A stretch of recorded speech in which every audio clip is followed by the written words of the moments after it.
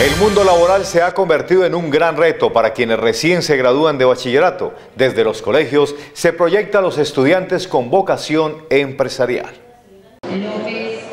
El ciclo de culminar una etapa en la vida y comenzar en la búsqueda de ingresar al campo laboral se convierte para los estudiantes en un gran reto. Reto que desde las instituciones educativas impulsan para que los recién graduados puedan ingresar a trabajar. Sí, claro. Yo tengo aquí con el SENA eh, cuatro, cuatro técnicas y para el próximo año aumentamos a cinco.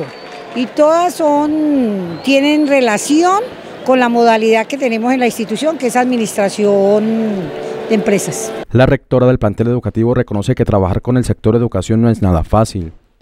Es duro y de pronto a uno lo ven como el regañón, como, como la fregada, la, la exigente pero esa exigencia se les hace con mucho amor, con mucho cariño y ellos de verdad que corresponden a, todo eso que yo trato de, de tener en la institución y es buena convivencia. El Colegio de Occidente logró el mejor resultado en las pruebas IFES a nivel municipal.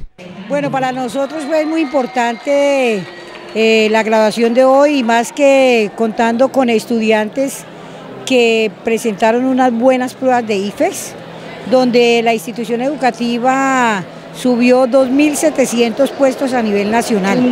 A nivel municipal subimos del 14 al sexto puesto y tuvimos el mejor puntaje de IFES a nivel municipal con 413 puntos.